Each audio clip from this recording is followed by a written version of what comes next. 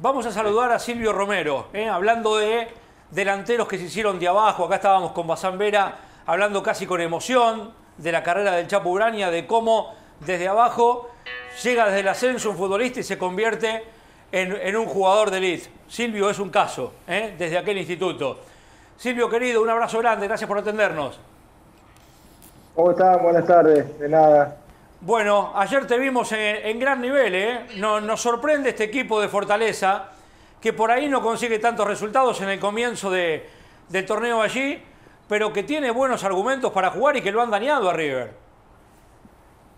Eh, sí, sí, por ahí, como bien marcabas, no, están acompañando los, resultados, eh, tanto en Copa como en Brasileirao, pero eh, en funcionamiento no, no estamos sintiendo cómodos, eh, sabiendo eh, de nuestras eh, virtudes. y bueno, ayer, sobre todo en ese primer tiempo, creo que fuimos superiores ante uno de los, de los rivales más complicados que tiene la, Copa Libertadores. River sabemos que viene trabajando juntos hace mucho tiempo y, bueno, nosotros ayer por el momento en el primer tiempo lo, lo sometimos prácticamente en todo ese primer tiempo, generándole muchas situaciones. nos quedamos cortos por ahí, en solamente eh, eh, concretar un gol, pero, pero bueno, estos partidos de Copa eh, son así, ¿no? Y tenés una linda competencia interna ahí, porque Kaiser entró bien, vos estabas bárbaro, chispeante, aprovechando los espacios, aprovechando por ahí las espaldas que dejaba River, que se adelanta siempre, esto lo hablaron en lo previo, ¿no? Sí, sí, sabíamos que, bueno, la característica de River este, también eh, ellos proponen un juego eh, casi golpe por golpe, atacan, no, no importa el escenario donde van, tratan de, imponer su juego y, bueno, nosotros con también por ahí con un poco menos de jerarquía en comparación a, a, River, pero, pero también lo habíamos demostrado por momentos en el Monumental, que, que tuvimos nuestras chances al, comienzo y bueno, después River, eh, al ser eh, más, más directo y, concretar, eh, terminó ganando ese partido con, con claridad y bueno, ayer se dio un partido distinto por ahí. Silvio, contanos qué son los equipos brasileños de esta Libertadores. ¿Son inalcanzables como en las últimas dos ediciones? Eh, o vos ves que, River y Boca potencialmente, Estudiantes de La Plata que está haciendo una buena fase de grupos, pueden dar el golpe esta vez.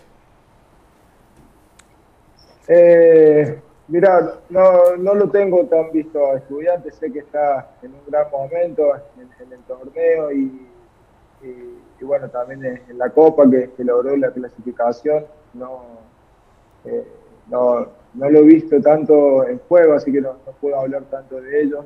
Eh, sí, bien, eh, he visto más a, Boca y a River. Eh, y los equipos argentinos siempre compiten, pero bueno, los equipos por ahí brasileños tienen, ese recambio, como bien lo marcaba recién vos, a la hora de, suplantar, que hace que que el nivel se mantenga y eso es una diferencia con respecto al fútbol argentino. Eh, los planteles son un poco más vastos. Eh, eso hace que por ahí a la hora de, definiciones cerradas eh, la jerarquía predomina. pero bueno, el argentino siempre compite y, compite muy bien. Pasa que hoy la realidad del fútbol brasileño es totalmente distinta en cuanto eh, al nivel de, contrataciones a la Argentina.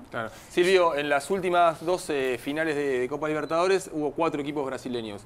Eh, ¿Crees que esto es una tendencia que, llegó para, quedarse en los próximos tiempos o que el fútbol argentino puede meterse ahí en, finales como no pasó en las últimas dos ediciones? No sé si, a ver, si por ahí, eh, si en, esta edición llega un argentino y en las próximas cinco llega un brasileño, es una tendencia. Eh, creo que hay que apuntar más a, volver a hacer esos equipos eh, que bueno que estaban acostumbrados a, a poner los, equipos argentinos en, finales, tanto en Libertadores como en Sudamericana. No enfocarse en una, sino más bien qué estamos haciendo a largo plazo, o a mediano o largo plazo.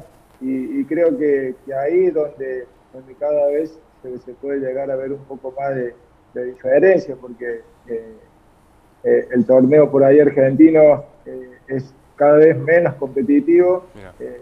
no, en comparación con el brasileño mucho menos, pero en comparación contra otros equipos, contra otros torneos de Sudamérica, se está emparejando para abajo, lamentablemente. Y, bueno, eso a mediano y largo plazo va, a traer consecuencias, mi punto de vista, ¿no? Y, no hay que, mirar solamente si, se llega a una eventual final, final en esta edición o en la próxima, sino un poquito más allá. Silvio, ¿fue penal? Eh, sí, para mí sí. Después con, con VAR seguramente podrían haber marcado eh, afuera del área, pero bueno, eh, en estas instancias donde no hay VAR, jugada rápida. ¿Las dos te parecieron penal? sí, sí, sí, las dos me parecieron penal. La de, la de la de River dentro de la cancha me pareció una falta eh, normal eh, que, podría haber eh, evitado. Después viéndola por televisión me pareció más falta que lo que me pareció adentro del área, ahí adentro de la cancha. Y, bueno, y la, nuestra me pareció que fue exactamente igual. Con el mismo criterio, con situaciones muy similares pero bueno, para un lado la marco y para otro no. Silvio, eh, vos recién decías, ves mucho a River y a Boca, y también jugaste eh, con la camiseta independiente contra otra versión del River de Gallardo. ¿Sentís que esto más permeable, que este tal vez no es lo mismo el juego que, cuando te tocó enfrentarlo con la camiseta independiente? Eh, no sé si más permeable. Me, dieron, bueno, en estos dos partidos tuve dos sensaciones distintas en los cuales en Buenos Aires eh, sentí que bueno que fuimos superados eh, y un River que jugó muy bien y acá en Brasil noté un River muy muy vulnerable sobre todo ese primer tiempo. Eh, no sé con, cuál quedarme no pero pero bueno sí a, diferencia de, otros planteles por ahí tienen otro tipo de recambio y bueno, pasa un poco lo que veníamos hablando eh, hace, hace unos minutos.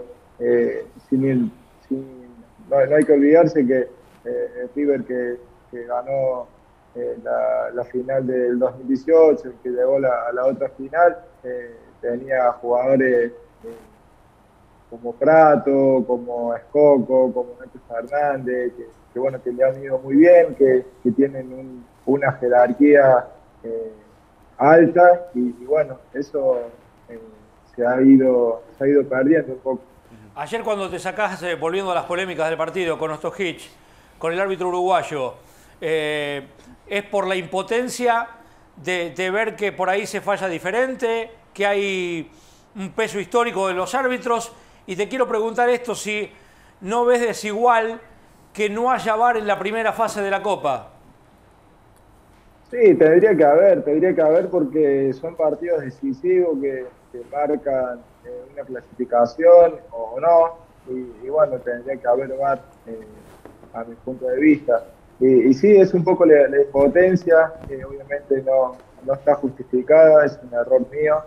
Eh, pero bueno, eh, como te digo, eh, para mí fueron las dos eh, jugadas similares, que para un lado se marcó y para otro no, y por eso fue, fue la reacción equivocada que tuve de, esa impotencia, y bueno, ahí están las consecuencias que, voy a tener que, que, asumir por, por un error. Silvio, esto lo digo yo, corre por mi cuenta. Vos sos un delantero ideal para jugar en el River de Gallardo.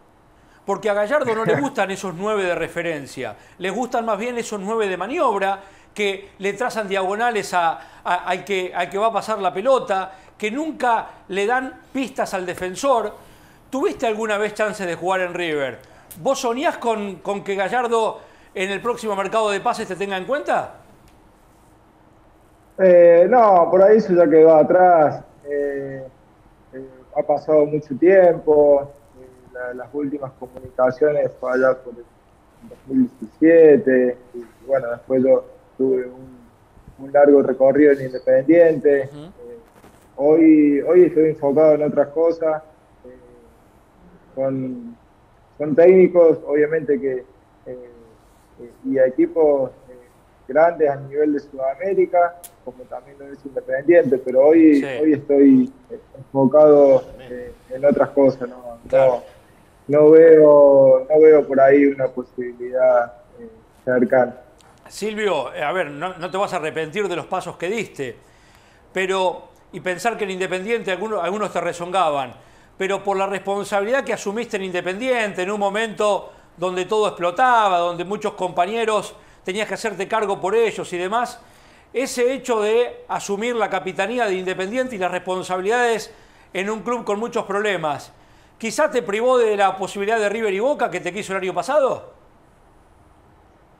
Eh, puede ser, puede ser, pero, bueno, no, como bien decís, no, no, me arrepiento, creo que lo que hice eh, fue porque realmente lo, lo sentía eh, y tengo, tengo el mejor de los recuerdos por, por el paso por Independiente, porque eh, me ha brindado mucho cariño, más allá de, de- críticas que he recibido, que, pueden... eh, eh, pueden ser eh, acertadas o no, de acuerdo al punto de vista que, se lo mire, pero esto es, parte de, de lo que convivimos del juego y bueno, lo, tomamos así, pero he vivido momentos muy lindos, momentos muy feos, pero todo sirve de, aprendizaje, tuve cuatro años en de los clubes más importantes de, de Sudamérica y bueno, eh, representar eh, bien eh, muchas veces y mal otras también es, es una parte de, de todo esto, así que no, no, no me arrepiento, tampoco pienso que de lo que podría haber sido, sino que trato de, de ir ahí, de, de viviendo el día a día. seguís en contacto con tus compañeros de Independiente. Eh, con, con Rolfi tenés una, una muy buena relación, que está allí como manager. Sí, sí, sigo en contacto, hablo constantemente, con marcas también con, con Rosti tengo, tengo muy buena relación, con, con Eduardo el tiempo que tuve, eh, hemos tenido charlas eh, muy buenas. nada, pasé mucho tiempo y, y pasaron muchas cosas, entonces por ahí es difícil desapegarse de eso, eh, así que seguimos de alguna manera eh, vinculados a Independiente, aunque ahora eh, dentro, eh, fuera de la cancha. Ir a jugar a Brasil para vos, ¿es salir de la locura en la que estamos en el fútbol argentino? ¿Ves a la distancia, allá en el nordeste de Brasil, con, con otra calma que el fútbol argentino vive en permanente crisis, en permanente locura del público y vive de todos, de playa, nosotros ¿no? incluso? Eh, pensaba eso, pensaba eso, pero, pero bueno, pero vine a un fútbol que es muy pasional. También. Eh, lo, lo podrán, sí, lo, lo podrán haber visto ustedes anoche, eh, Impresionante. cómo vive los partidos. Si, si bien eh, Fortaleza tiene otras exigencias eh, Claro. a nivel presión y, y demás, es una realidad, pero con la paz que vive eh, es similar o superior a la, a la que se vive en Argentina. Eh, por ahí si me hubiese ido a otro fútbol un poco menos competitivo y más tranquilo, te diría que sí, eh, pero, pero no, acá estamos, estamos a tope de gama, Sí. estamos, estamos, estamos muy parecidos. estamos Yo, parecidos. yo te hablaba un poco de las demandas, de las demandas, porque por ahí al equipo no le va tan bien en el comienzo del campeonato y sin embargo la gente los bancó, los apoyó. Acá en el fútbol argentino, si el equipo no, no anda tan bien, la, la gente exige mucho más y el periodismo y el público, ¿no? Sí, sí, tal cual, tal cual. Pero, pero bueno, es- este es un equipo que el torneo pasado eh, terminó cuarto en el Brasileirao, Claro. arriba de, de casi todos los grandes. Eh, tiene, tiene espalda todavía. El Brasileirao eh, apenas van tres fechas y es un torneo de 38, entonces hay mucho re- eh, recorrido todavía por, eh, por recorrer y, y bueno, eh, eh, también la gente ve lo que el equipo le brinda y, y el equipo brinda lo que, lo que por momento le dio ayer a River, muy, muy vertical, vertiginoso, que, que crea situaciones, eh, y bueno, se siente identificado con, con eso. Silvio, conoces muy bien el fútbol argentino y ahora conoces el fútbol brasileño. Si te tengo que decir, o te tengo que preguntar, así como un juego, ¿quiénes para vos son los dos grandes candidatos a llegar a la final de la Copa? ¿A quién pones? Eh, todavía acá no lo, no lo enfrenté a Palmeiras, pero veo que, que va muy sólido, eh, que son un equipo con, mucha templanza. Eh, y bueno, que, se, ha acostumbrado a, jugar instancias decisivas, igual que, River, ¿no? Son, equipos que, están ahí hace mucho tiempo. Y, y bueno, cuando eh, el partido requiere de una jerarquía extra, eh, esos equipos la tienen. Eh, pero, pero bueno, Palmeiras sería uno y, tendría que, ver otro. Hoy los veo un poco o un nivel abajo los equipos argentinos con, con relación a los, a los brasileros, eh, similar a lo que ha pasado en, la- en las últimas ediciones. Silvio, em, perdón, vos ayer, em, recién decías, perdón, que River em, ayer se lo vio un equipo vulnerable, incluso ustedes habían eh, avanzado bastante, eh, tuvieron varias situaciones, también acompañaba el hecho del público. ¿Qué crees que le faltó a Fortaleza ayer para, para poder sacar diferencia en ese primer tiempo? No, eh, concretar la- las situaciones que tuvimos. Armani ha tenido un gran primer tiempo, siendo eh, un pilar fundamental para, para que el partido termine en empate. Eh, y bueno, eh, después nada, un poco de, de eso, de terminar mejor todas las, las situaciones que, que hemos generado. ¿Era invencible Armani de ratos ayer? ¿Lo salvó a River de lo que pudo ser una, una goleada de ustedes en el primer tiempo? Sí, sí, bueno, ya- yo le hice un gol. Pero, siempre River pero bueno, sí. eh, no, Tiene sí, algo con River momentos usted, se lo- Silvio. Siempre le hace goles a River. Siempre. Acá dicen, eh, tiene siempre nos hace goles, Con, Silvio. con Tiene un, camisetas le hizo un enojo con River. Especial o su familia es de Boca, pero siempre con River. No, no, no, a Boca también le he hecho goles, a, a Racing, a Lorenzo le he hecho. Gracias a A Dios todos le he hecho goles a, a- Sí, a- lo que pasa es que a River un poco más, pero, pero no, no por nada en especial. Eh, volviendo un poco a la pregunta de, de Armani, son Sí. esos tipos de, de, de jugadores que cuando el equipo lo, lo requieren están y dice presente, por eso es eh, un jugador que va a la selección, por eso hace mucho tiempo que, que ataja en River, por eso que ha ganado las cosas que ha ganado, por, por la templanza, por la jerarquía. Eh, se puede equivocar, como se equivoca eh, el 100% de las personas, pero en los momentos clave eh, tiene ese extra que, que te da eh, la- las cosas que, que te puede brindar ayer. Nos encantó charlar con vos, un abrazo grande a Boivoda, tenemos un gran respeto por él, gran tipo, el doctor Boivoda. Eh, che, y nos encantó el 10, ese Crispín nos encantó con las medias bajas, un atorrante bárbaro, ¿eh? Lo que debe hacer en las prácticas Sí. ese, Silvio. Sí, sí, sí. Eh, bueno, eh, ha, tenido un gran partido él, Lucas Lima. También, el 13. Mo- Moisés, sí, el 13. Moisés, muy desequilibrante. Muy. Tenemos un, un equipo eh, eh, competitivo. Eh, nos, nos está faltando por ahí terminar mejor eh, las jugadas. Eh, pero bueno, eh, vamos, vamos a ser competitivos en lo, en lo que queda del año. Así que bueno, agradezco también la, la comunicación. eh, y bueno, nos, tomamos este rato también para, para charlar con ustedes. Le, tengo mucho respeto ahí a, toda la mesa. Saludos a Chapo y a, y a, a- todos los, los integrantes de ahí. Y nada, eh, gracias por, por la comunicación.